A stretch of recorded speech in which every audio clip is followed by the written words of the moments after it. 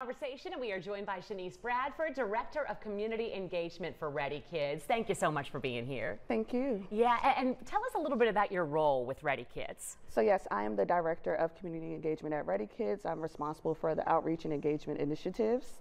Awesome. So this is something that's really, really important. The yes. outreach is so important, yes. an important part of Ready Kids. Tell us a little bit about the block party coming up and what the purpose is. Yeah, so this is our uh, upcoming block party, and the purpose of the block party is to educate people on our services while also connecting them with community resources. Awesome. So Kidchella yes. is something too. yes. Tell us a little bit about what Kidchella for mental well-being is all about. So Kidchella is just a fun way for us to bring community members together while also identifying and highlighting artistic expression. We understand the importance artistic expression has on like just coping when it comes to mental health.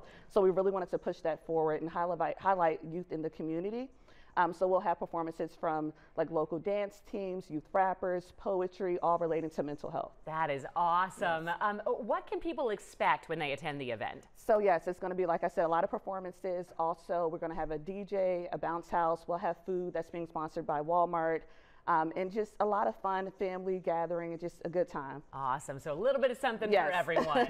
um, why is community collaboration and event support for something like this so important? It's so important because it allows us to create more joyful experiences. Typically, when people are coming to us for a service, it could be because of a traumatic experience or just something in life that is stressful. And we are using this as an opportunity to spread awareness, but also create a good, a good time for people. So community collaboration is really important because when people step to donate or sponsor for the event, like Rita's Bright Beginning, Walmart, um, the President's Council, UVA, the Equity Center, it creates a, a, easier path for people to access our services, access the community resources, and then like Blue Ridge Health Department, Pediatric Associate, they're providing school physical. So it's just bringing the resources to the people in the community Yes. So awesome. Yes. It's going to be a really, yes. really good thing. So tell us the most important thing. When is this happening? The date, time, location, yes. all that. so the event's going to take place on May 18th from 10:30 to 1:30. It's going to be at our Ready Kids office, 1000 East High Street, Charlottesville, Virginia. Awesome. Anything else you want to add that you think people need to know about?